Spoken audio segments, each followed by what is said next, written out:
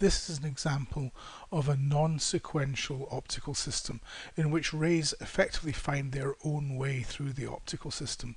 We have here a source at the focus of this parabolic reflector and you can see here that some of the rays go forward and hit this uh, lenslet array.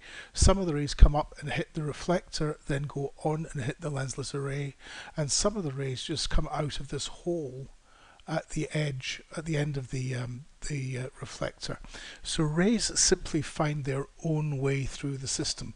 And so here, for example, is a ray that ultimately escapes the system whilst most rays carry on and actually land uh, on, this detector. Non-sequential ray tracing works with a, an editor in which you specify what each of these components are. We'll go on and look at them in uh, detail shortly.